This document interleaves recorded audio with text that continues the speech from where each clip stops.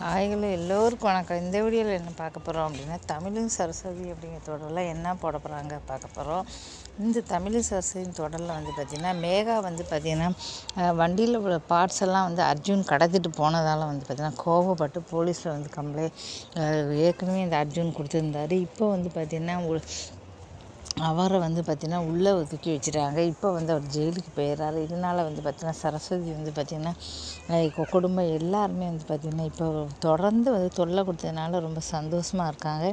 இப்போ எல்லாருமே வந்து வீட்டில் வந்து பேசிகிட்டு இருக்காங்க. ஒரு வழியாக அர்ஜுன் வந்து தொந்தரவெல்லாம் முடிஞ்சு போச்சு. இனிமேல் கண்டிப்பாக அவள் தொந்தரவு பண்ண மாட்டான் எப்படி ஒரு வருஷமாக ஜெயிலில் அவன் இருப்பான் இனிமேல் நமக்கு வந்து எந்த பிரச்சனையும் கிடையாது. கம்பெனியை வந்து சீல் வச்சாச்சு அப்படின்னு சொல்லி சந்தோஷப்பட்டுருக்காங்க அதே சமயம் வந்து பார்த்திங்கன்னா கரெக்டாக வந்து அவங்க எல்லாம் பேசிகிட்டு இருக்கும்போது அவங்க தங்கச்சி ராகினி வீட்டுக்குள்ளே வந்துடுறாங்க. இன்னும் எல்லாரும் பிளான் போட்டு என் புருஷனை வந்து பொய்யான ஒரு பழி போட்டு உள்ளே தள்ளி கம்பெனி இழுத்து மூடிட்டோம்னு வச்சு சந்தோஷப்படுறீங்களா? கண்டிப்பாக அந்த சந்தோஷம் வந்து நிலைக்காது எவ்வளோ சீக்கிரம் முடியுமோ அவ்வளோ புருஷ சீக்கிரம் என் புருஷனை வெளியில் கொண்டு வருவேன். அதுமாதிரி கம்பெனியை வந்து நான் ஓப்பன் பண்ணி காட்டுவேன். இன்னுமே இந்த உலகத்தில் உங்களுக்கு ஒரு ஒரு எதிரி இருக்குது அப்படின்னா அது நான் தான்.